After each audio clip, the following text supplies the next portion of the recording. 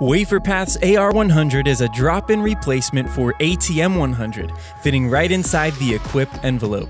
We've eliminated the external controller while making the robot sturdier and easier to install. With no T-axis dead zone, this allows for 450 degree rotation and Z-motion extension up to 200 millimeters. That's nearly one inch more than ATM 100. Our new proprietary engine generates fast and smooth motion up to 1,000 wafer transfers per hour.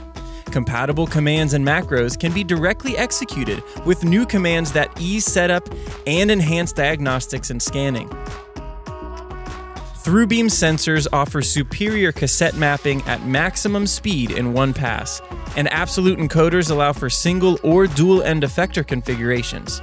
Having co founded Equipe Technologies, we've streamlined AR100 to be smarter, stronger, safer, and faster.